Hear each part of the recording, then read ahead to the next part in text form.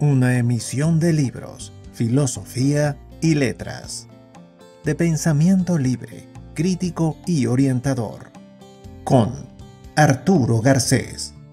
Búscanos en nuestro canal de YouTube.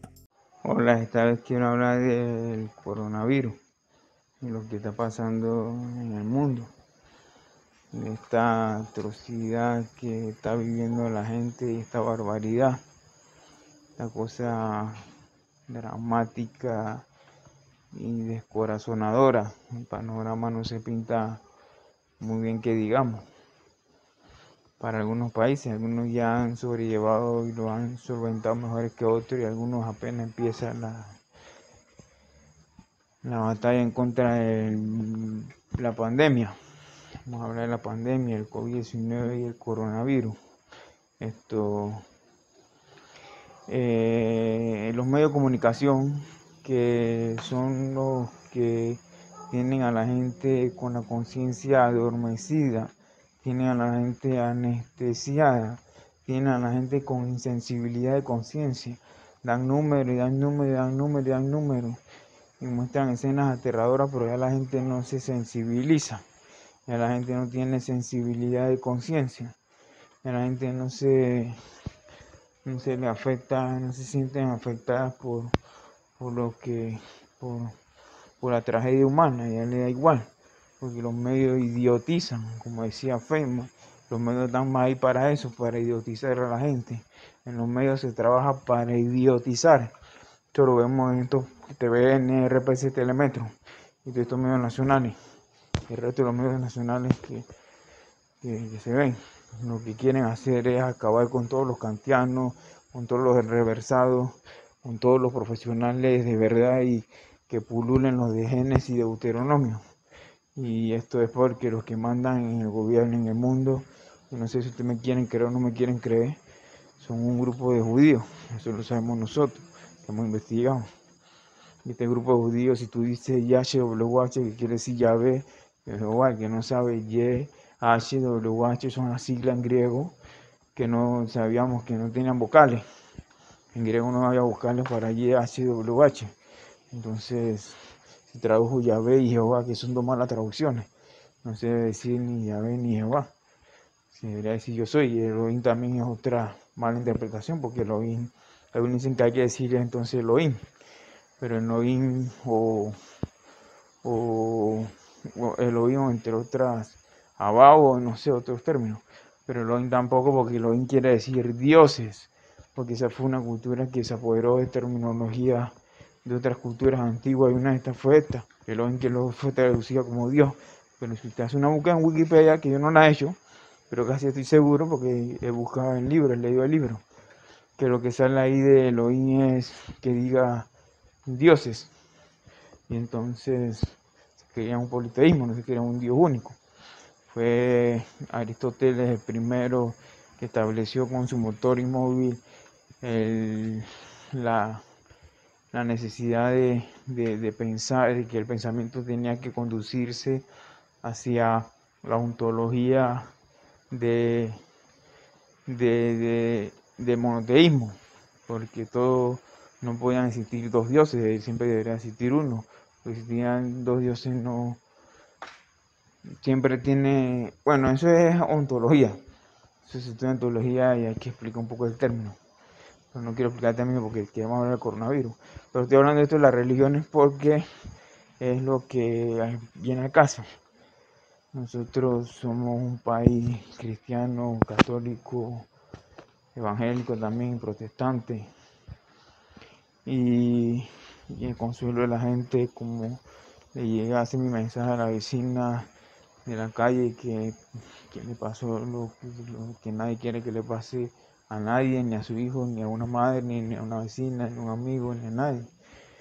Y a hacer un mensaje uno de mis compañeros de WhatsApp, de mi grupo, le dije y me envió un mensaje, una prédica, una breve, una breve, un breve sermón, un breve, un breve, como una, un breve, para utilizar el término de los católicos, una breve homilía de unos 3, 4 minutos. Y, yo se lo envié y se puso muy contenta. Y estamos en contacto, estamos en contacto y espero que se mejore y que esté bien. Porque el panorama, reitero, es dramático. Yo no veo televisión, pero lo que se ve en la televisión o lo que uno ve en, los canales de, que, se, que, se, que se ven en las redes sociales, por ejemplo, en Guayaquil, donde la gente vende cajas de cartón para enterrar a los muertos y no te le puedes ni acercar a tus familiares, no lo puedes ni llorar, no lo puedes abrazar, no lo puedes besar, no lo puedes estrechar una mano, mueren en el hospital igual. Son, son cosas tristes, pero los medios que idiotizan a la gente, que mantienen a la gente estupidizada, que no sensibilizan conciencia, sino que presentan la tragedia y con eso lucran, y después nos quieren vender que ellos son los que están preocupados por eliminar la corrupción, ¿no? medio no le interesa eliminar una corrupción. medio lo que le interesa es mantener su status quo y su, su, poder de, control de la sociedad y lucrar lo máximo posible. La, la maximizar utilidades. Pero hablemos de Jesucristo, porque es la esperanza de la gente que está en los hospitales para nosotros que somos que somos de esta orientación porque no es que yo sea cristiano o debe ser no es que yo sea o no sea cristiano. Yo a veces digo Biblia sí pero otras veces digo Biblia no. A veces digo fe sí otras veces digo fe no. Y entre fe sí fe no y Biblia sí Biblia no hay un hombre que vio la historia en AC y DC antes de Cristo y después de Cristo que vivió hace 20 que vivió, que murió en el, año 27. Se sabe que murió en el año 27. Los historiadores de las fechas que aproximan la, la muerte más, el, ah, que fue una muerte terrible, después voy a hablar de esa muerte. Después voy a anotar audio para ver por cómo murió Jesucristo. Eso también lo he leído, un libro completo que me leí sobre la pasión de Cristo, cómo fue que murió, pero cómo fue que murió en la cruz, cómo fue eso, eso lo voy a explicar. Pero bueno, vamos a seguir hablando de esto y del cristianismo, porque va enlazado el dolor humano a la esperanza cristiana. Hay una esperanza cristiana, pero cuando yo hablo esperanza es del Cristo que te fortalece, Cristo que fortalece tu fe, que fortalece tu vida. Es que yo vuelva y digo que me he vuelto cristiano. Tengo un grupo donde me lo paso debatiendo y muchas veces me presento como un escéptico. Otras veces me convierto como una persona, me paso como una persona de, me siento de luto por lo que le pasó a, la vecina, aunque no le haya pasado, aunque Dios quiera no pase nada grave, pero eso me pone triste. Eso a mí me afecta, por eso yo no veo televisión, ni veo los medios, ni veo los diarios, ni veo películas, porque todo es horror, todo es terror, todo es horrendo, todo es insensibilizar la conciencia. Para así controlar más fácil y hacer que la gente no le interese nada con nadie y no se preocupen por los demás. Yo ya hablé con la vecina, como dije, me envié mensaje, la vecina es una, una vecina favorita, junto con otra vecina en la calle. Su hijo también, un amigo, compañero de infancia y adolescencia. Jugamos fútbol y todo lo demás y me envió un mensaje. Este mensaje para, porque quiero darle una orientación cristiana. Quería darle una orientación cristiana. Y es que sé que vivió la historia en ACDC, decía uno de mis maestros espirituales, como reitero. Yo no sigo a maestros espirituales que persiguen el dinero yo sigo a maestros espirituales que viven como los pobres. Este era de Nueva York, ayudaba a los pobres, era un franciscano. A mí no importa si sea católico, hinduista, ahora el que sigo es un maestro espiritual hinduista. O sea, gurú. Él era, el anterior era franciscano, Benedict Groschen, que hasta tanto me gustó que tengo un teacher de, de él, tengo dos teachers donde, donde imprimí su rostro una, usted le ve el rostro y uno ve una, uno ve a alguien como una persona que es como transparente. Decía Jesucristo, la verdad, ojalá libre. Él decía que se sentía libre, yo sí le creo, porque se le veía que él era como transparente, uno veía verlo a él era como verle el alma, verle los ojos, verle la mirada, verle el rostro, que ya después se enfermó y ya cayó enfermo, quedó en cama y ya después se deterioró, pero es una persona muy de mucha, mucha, mucha belleza física y espiritual.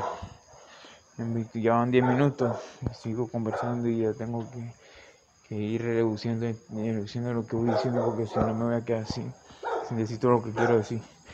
Lo que quiero decir es que los medios de comunicación, hay un caso, caso, hay casos en Guayaquil donde se venden, donde se venden cajetas, donde se mueren los hijos, el papá, la mamá, el abuelo, nada más que una persona en la casa, y donde casos donde se venden en la esquina las lápidas o te han dado caso la gente siempre buscando culpables y buscando culpables uno haciendo la culpa al otro y los otros haciendo la culpa a los otros no resolviendo el problema real el problema real es que hay que mejorar los sistemas de salud porque acá aquí no tenemos que estar a tenemos que tener sistema de salud no tenemos que tener sistema de salud cercano a 5 kilómetros donde haya respiradores.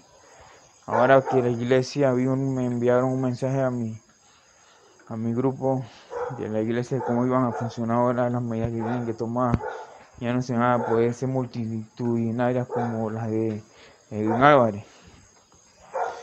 Tienen que guardar distancia.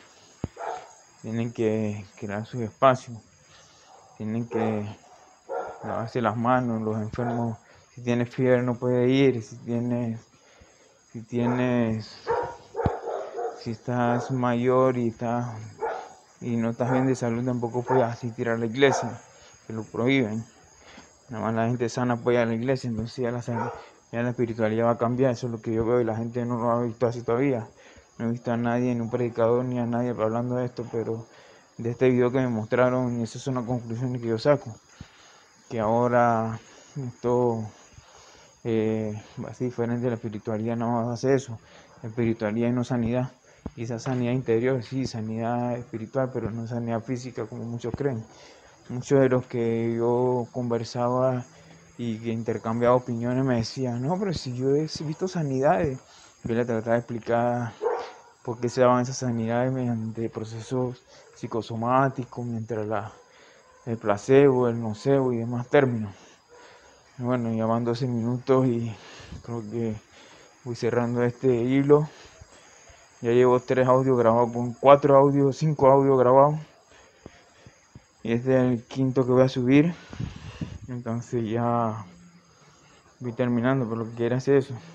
Los medios nos insensibilizan y que es doloroso pasar por esto, así que cuídense.